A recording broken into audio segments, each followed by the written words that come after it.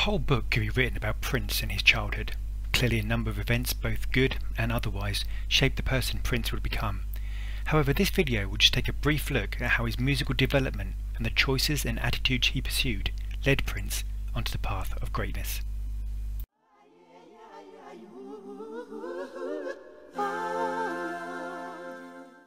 It often seems that people assume that Prince's success was somehow already written from the start, and there is a danger that this denies the sheer hard work, dedication, smart choices, tenacity, and some good fortune this took. It also denies the place of the people around him who worked with Prince and helped Prince to mould his career from the very start. Prince always was an independently minded artist imbued with great self-belief and confidence, but it is easy to forget that he was also a product of his family background, his experiences, and that he was influenced and inspired by the family and friends around him. Minneapolis may seem to some an unusual place for such an artist as Prince to bloom, but in many ways it made sense. Matt Thorne, in his impressively detailed book, Prince, writes that from his very early childhood to the present day, Prince has worked extremely hard, but still, he seems to have had a surprising number of people along the way who were not only prepared to help him with his ambitions, but immediately recognised the enormous talent they were witnessing. Thorne also notes that unlike LA or New York, opportunities in Minneapolis were limited, so working together to create a break for themselves made sense. Prince's father, irrespective of the ups and downs of their relationship, was clearly a source not only of inspiration, but also musical motivation for Prince. His father's jazz background and Prince's attendance when still only five at one of his father's concerts clearly left a mark as he saw a host of attractive women surrounding him as the audience screamed. At seven, Prince wrote a song called Funk Machine, and later another titled Sex Machine.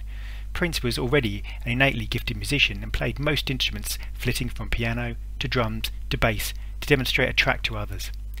Whilst the band Prince was part of, which eventually became named Grand Central or Grand Central Corporation, played mostly covers, original tracks were starting to develop as their confidence grew.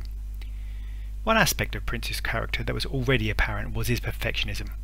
After Pepe Willie asked Prince to join his band 94 East and the band recorded a series of five songs at the Cookhouse recording studio, Prince insisted on being let back into the studio to correct aspects he was initially unhappy with. This aspect of Prince developing and improving tracks over time is apparent when you listen to the various versions of the track for you.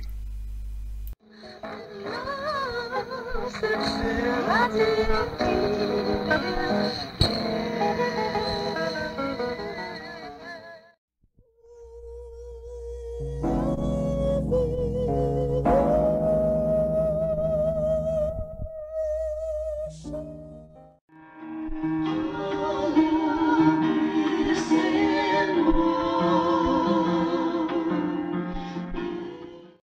is also apparent in other tracks, such as Soft and Wet.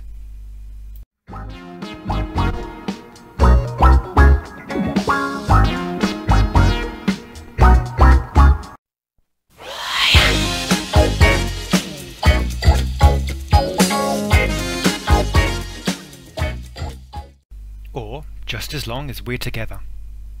One.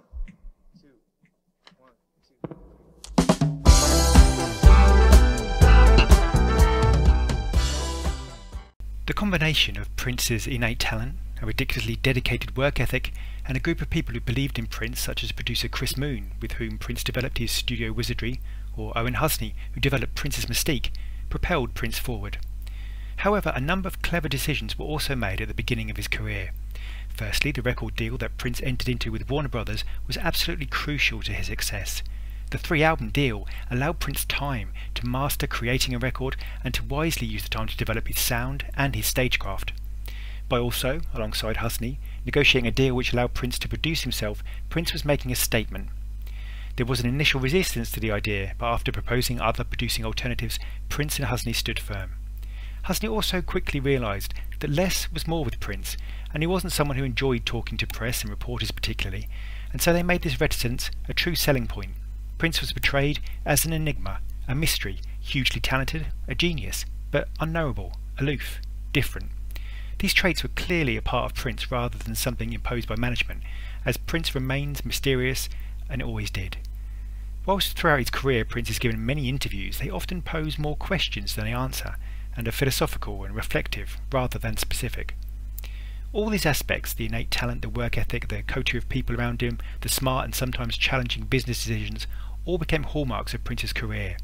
And whilst at this stage the true depth and height of his genius was still for the world to discover, if you look hard enough, several signs were already there in Prince. It was now time for Prince to show the world what he could do.